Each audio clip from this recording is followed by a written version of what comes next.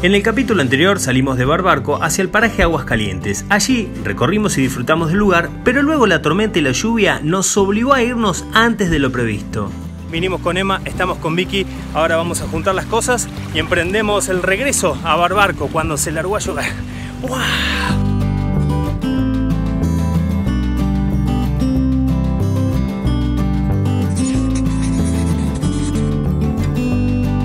Salimos de Aguascalientes con la intención de regresar a Barbarco para evitar estos caminos tan embarrados, pero al llegar al cajón del Atreuco aprovechamos que no llovía y bajamos del auto para contemplar el paisaje.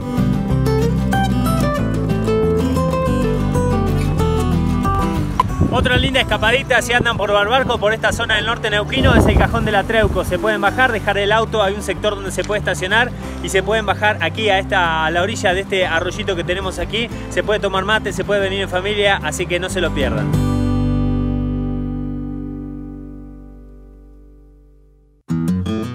Atrás dejamos el cajón del Atreuco corridos nuevamente por la lluvia. Ya estábamos decididos a regresar hasta la hostería de Barbarco, pero luego de unos kilómetros nos encontramos con el desvío que lleva hasta los bolillos. Nos detuvimos y al mirar el cielo notamos que la tormenta tomaba otro rumbo.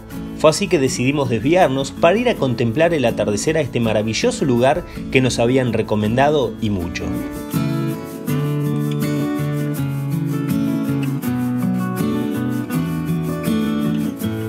Por la zona de Barbarco del norte neuquino, a unos 15 kilómetros aproximadamente, camino a Aguas Calientes, van a encontrarse con la entrada a los bolillos. Un hermosísimo lugar, lo que tenemos aquí detrás nosotros, un paisaje maravilloso. Pueden venirse en cualquier hora del día, se puede entrar el equipito de mate, se llega en vehículo tranquilamente, se deja el auto estacionado y luego se puede bajar y caminar un poquito y contemplar estas maravillosas formaciones rocosas que la verdad están buenísimas y son muy fotogénicas.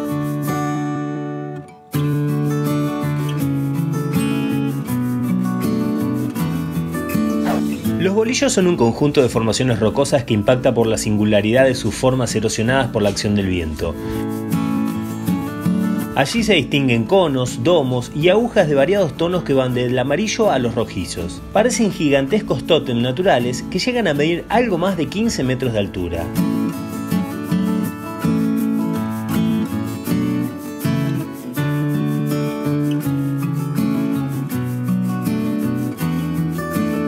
Si vienen con tiempo, podrán aprovechar para realizar un trekking por el lugar y disfrutar del valle del río Barbarco.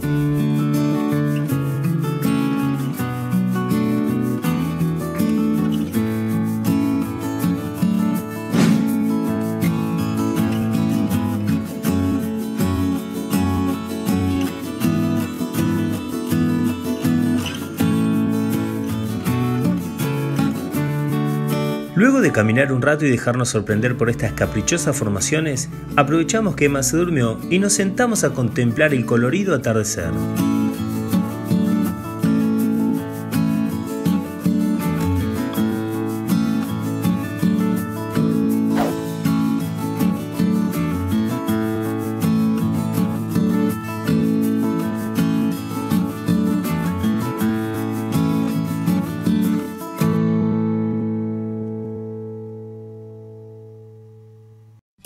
El día comenzaba a llegar a su fin. La jornada fue larga y muy activa, por lo que regresamos a la hostería en Barbarco para descansar y comer algo rico. Nuestra habitación era una doble matrimonial preparada con una practicuna para Emma. En cuanto a los servicios, tiene TV con DirecTV, un amplio armario, caja fuerte y un baño completo. Ya estamos listos para ir a cenar, vamos camino hacia el salón comedor aquí en Hostería Barbarco, donde estamos instalados. Vamos a probar alguna de las especialidades gastronómicas de este lugar, así que acompáñennos.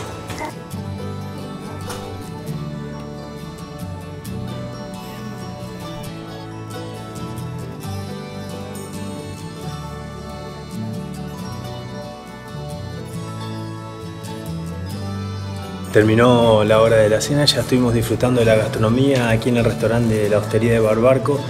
Uno de los platos que pedimos fue trucha con una guarnición de papas fritas y el otro un bife de chorizo con una guarnición de, de puré de papa. Así que la verdad que estuvo riquísimo de postre, unas ensaladitas de frutas muy pero muy fresquitas y ahora a descansar.